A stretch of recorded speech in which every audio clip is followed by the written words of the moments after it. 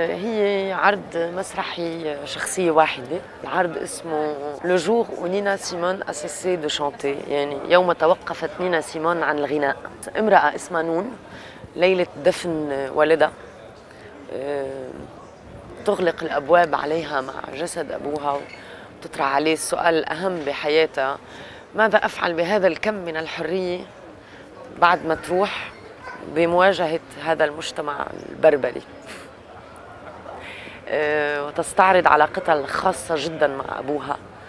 وكيف سمح لها تكون آه، تعيش حريتها للآخر.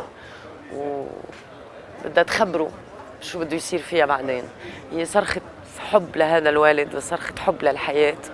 وصرخة شخص حر بيعرف قديش ثمن الحرية ببلداننا ممكن يكون غالي. أبوي عرفني عن نينا سيمون أنا وجدا صغيرة بالعمر. كنت أقول من أنا وصغيرة أنا بمثل بمثل من أنا عمري 8 سنوات. فهاي المهنة بدمي من أنا وصغيرة. كنت من أنا عمري 13 سنة أقول يا الله يا ريت شي يوم بقدر غن بقدر مثل مثل ما نينا سيمون بتغني. هاي المرأة بت يعني أنا دايما هيك بنبهر بقدرة المغنيين على الأداء لأنه هن بيمثلوا. بنحس بكل القصة بحشرجة صوتهم بس بطبقة الغناء اللي بيستعملوها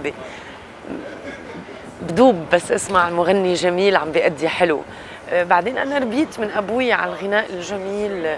أبوي كان يحب الجاز كثير والعراقي كثير فانا هيك من طفولتي مثلا بنطرب لسعدي الحديثي هو من من الأصوات اللي ما بتضل بذاكرتي بترن بودني دائما دائما دائما.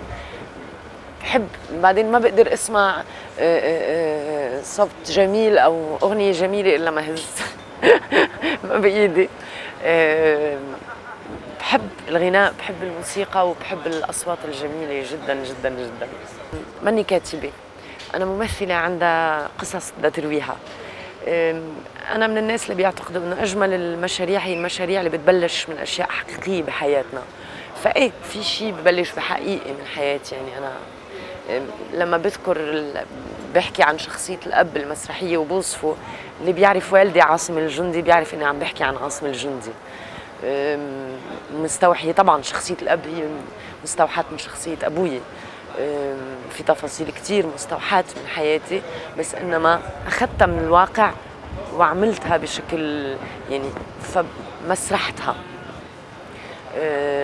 هو شخ طبعا نص بيعنيني كثير ونص كثير خاص بالنسبة لإلي وفخري كثير كبير إني قدرت آه، حقدمه بأفينيون هاي السنة آه، بتياتر ديهال المخرج فرنسي اسمه آلان تيمار وأنا كاتبة النص آه، بالتواطؤ مع محمد قاسمي الكاتب الجزائري.